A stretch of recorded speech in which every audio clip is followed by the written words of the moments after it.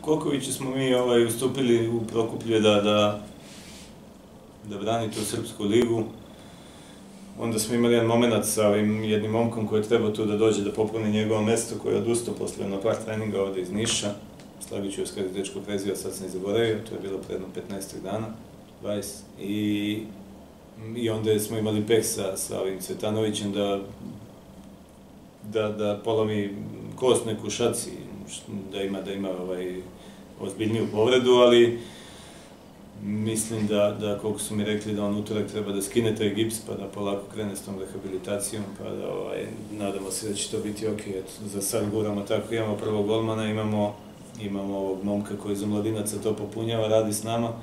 I imamo još jednog momka koji će u perspektivi, nadam se, nešto i doneti radničkom koji ovaj, treba dobije sertifikat iz inostranstva, on je dečko iz Bugarske, ovaj, I za sad je to to. Eto, kažem, u tri dana smo imali takav male, da kad pustimo tog Kokovića i izađemo u susret i njemu i tom klubu, onda se ovaj mali Cvetanović povredi, ali eto, guramo za sad ovako, nadam se neće biti nekih problema.